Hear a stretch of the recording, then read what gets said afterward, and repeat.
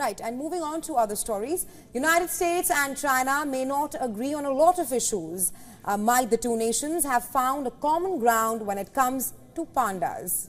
Well, US First Lady Jill Biden has signaled that the two countries are engaging in panda diplomacy. We've heard that before as well. What is panda diplomacy? Well, pandas are used as a sign of goodwill. The World Wildlife Fund for Nature organization also uses pandas in its in their logo. This species is often used in diplomatic events and to foster positive relationships between countries. So China has taken a step in this very direction. Earlier, Beijing's foreign ministry announced that it will send two giant pandas, Yuan Yuanshan and Xinbao, to the San Diego Zoo. This particular zoo has a long-standing partnership with China on wildlife conservation research.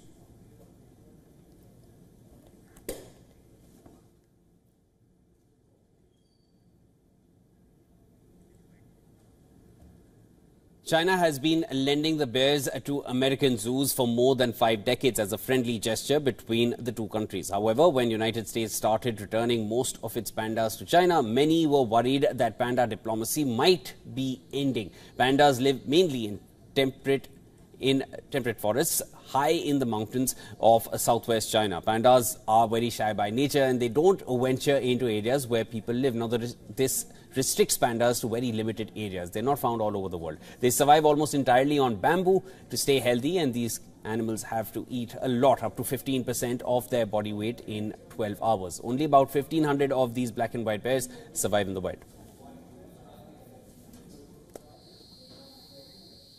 What is